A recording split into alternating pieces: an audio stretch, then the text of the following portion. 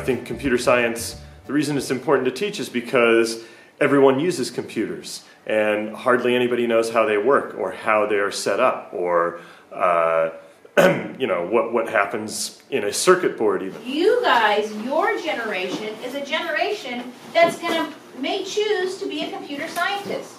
And right now, you might not even really understand what that is. By the time we're done in three weeks, you should have a better idea of how we can use computer science. It is a step beyond the coding that you did last year. It's more than Angry Birds. Okay? It's a deeper level, and it's going to require a little more thinking.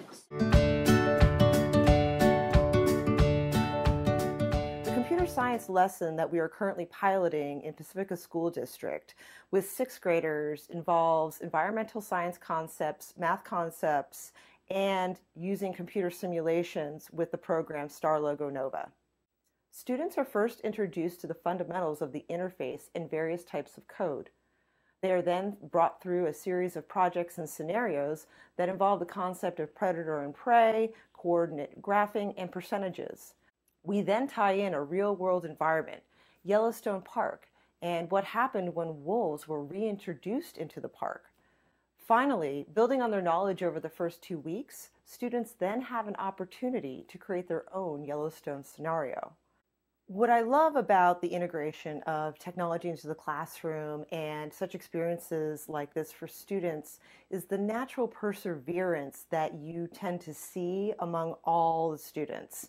They really want to understand why something may or may not work.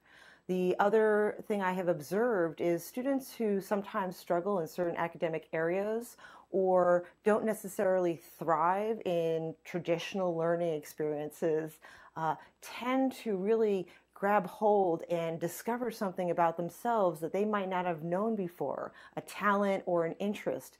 And to me, as an educator, uh, that is extremely satisfying. But what we want to be consistent with is if you're going to create another plant, call it create breed or call it breed three. Well, I like that it has block code, so it's easier to understand for some people. Because if you don't know real code like me, um, which is the ones and zeros and then more stuff, which is really complicated, you can still do this. It's still pretty fun.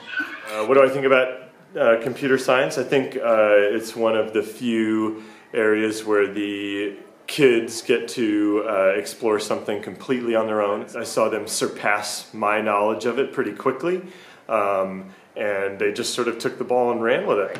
Well, uh, for me, I think it's very, very cool because the people who who don't know how games start or how how simulator games start, like you know how how do they do it and everything is because of this. Like it shows everything in here. It shows all the creativity and everything. So today, I, I think it's important to teach because I think that's where uh, all science is pretty much heading.